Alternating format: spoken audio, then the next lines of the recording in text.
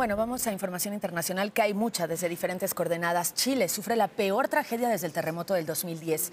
Una serie de incendios en el centro sur, pero en especial en la región de Valparaíso, ha dejado al menos 112 personas fallecidas y 3.000 casas destruidas, número incuantificable de coches. Se investiga si algunos fueron intencionales, al menos hay dos detenidos. Los detalles. El presidente de Chile decretó dos días de duelo nacional iniciando este lunes tras los incendios en Valparaíso de este fin de semana, una de las más grandes tragedias que ha vivido el país.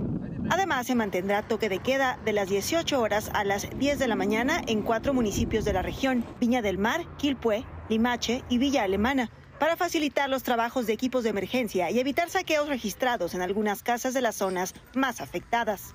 El presidente Gabriel Boric reiteró que sigue la investigación sobre las causas de los incendios, que testigos describen se propagaron en cuestión de minutos. Resulta difícil pensar que pudieran existir personas tan miserables y desalmadas capaces de causar tanta muerte y dolor.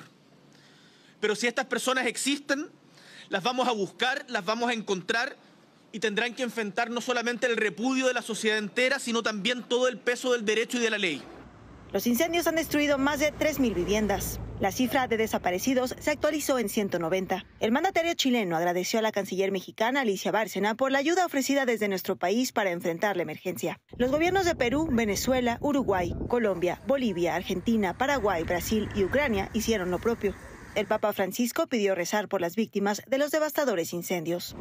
Se espera que las condiciones climáticas mejoren en las próximas horas con un fenómeno típico de la temporada en la costa del Pacífico que produce mucha nubosidad y humedad. Sin embargo, las altas temperaturas continuarán hasta el martes. Ana María Islas, Noticias, N.